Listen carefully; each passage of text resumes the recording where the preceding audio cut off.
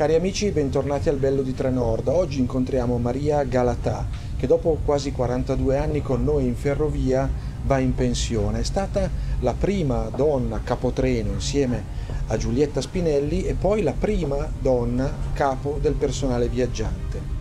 Allora Maria, facciamo un salto indietro nel tempo. Era il settembre del 1981. Sì, settembre 1981 ho fatto l'ingresso in Ferrovie Nord. Ho iniziato come guardabarriere, dopo quindi ho partecipato alla selezione come conduttore che era la figura di secondo agente del capotreno e sono entrata nel 96, ho partecipato a una selezione da capotreno e insieme alla Giulietta Spinelli siamo diventate le prime due donne capotreno di Ferrovie Nord.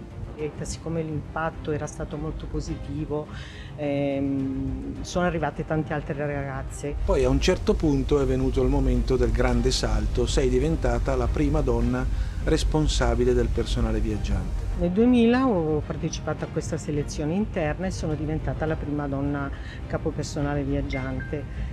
E, e lì per dieci anni sono stata messa al comando del personale che eh, praticamente all'ufficio turni io insieme ad altri colleghi gestivamo il personale, quindi davamo le ferie al personale, coprivamo le malattie, le maternità, insomma esigenze familiari. Poi nel 2011 nasce Trenord e comincia una nuova esperienza professionale. Sì, nel 2011 praticamente mi hanno proposto se volevo andare a fare programmazione, quindi fare proprio la costruzione dei turni del personale.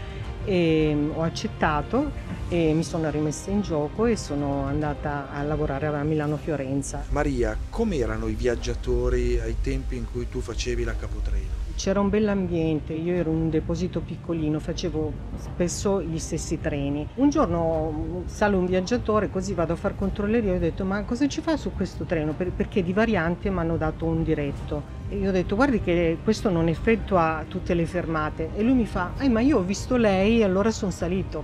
Perché era talmente abituato a vedermi fare l'incarrozzamento per il treno che effettuava tutte le fermate che poverino è andato sulla fiducia Sicuramente il treno lo prenderò ancora, ma per andare in vacanza, diciamo. Però ehm, devo dire che un po' di nostalgia ci sarà sempre. Il mio lavoro mi è sempre piaciuto, mi sono sempre messa in discussione, in gioco e ho trovato sempre come una famiglia. Che saluto vuole fare ai suoi colleghi? Avranno sempre un posto speciale, tutti quanti nel mio cuore, anche i colleghi che non ci sono più purtroppo, li terrò sempre nel mio cuore e poi gli auguro un grande in bocca al lupo per il loro futuro e di avere voglia di fare, di essere motivati e di guardare sempre il lato positivo delle cose, mai quello negativo.